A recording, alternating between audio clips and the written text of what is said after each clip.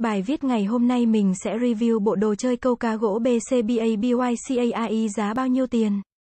Mua ở đâu? Có tốt không? Xem hết video này để rõ hơn nhé. Đừng quên bấm like, share hoặc comment nếu bạn thấy video này hữu ích thông tin sản phẩm, thương hiệu. BC Baby Care, xuất xứ, Thượng Hải Trung Quốc, màu sắc nhiều màu, chất liệu, gỗ thông New Zealand. Gỗ thích ván ép gỗ trầm, khối lượng 560g, độ tuổi áp dụng cho bé từ 24 tháng trở lên. Ưu điểm vượt trội, BC Baby Care đưa khái niệm giáo dục và âm nhạc thiếu nhi vào sản phẩm để em bé học hỏi và phát triển trong khi chơi.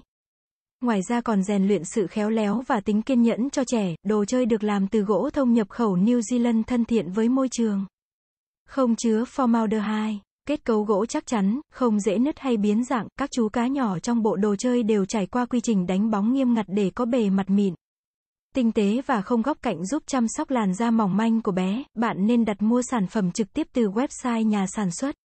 Đặt mua từ website nhà sản xuất bạn sẽ được hưởng các chương trình ưu đãi quà tặng kèm cũng như là được giảm giá và đảm bảo mua được sản phẩm chính hãng đảm bảo chất lượng. Các bước mua sản phẩm như sau, click đường dẫn liên kết bên dưới mô tả của video này để chuyển sang website nhà sản xuất.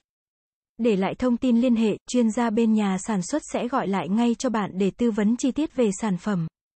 Sau khi tư vấn xong nếu bạn thấy sản phẩm phù hợp thì xác nhận đặt hàng.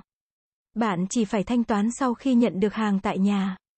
Nếu vẫn còn những thắc mắc về sản phẩm, đừng do dự hãy truy cập website nhà sản xuất và để lại tên và số điện thoại liên hệ. Nhân viên tư vấn sẽ trao đổi giúp bạn giải đáp mọi thắc mắc về sản phẩm. Lưu ý, hiện nay trên thị trường có rất nhiều sản phẩm làm giả kém chất lượng. Không đạt được hiệu quả thực sự như hàng chính hãng, để có thể mua được sản phẩm chính hãng.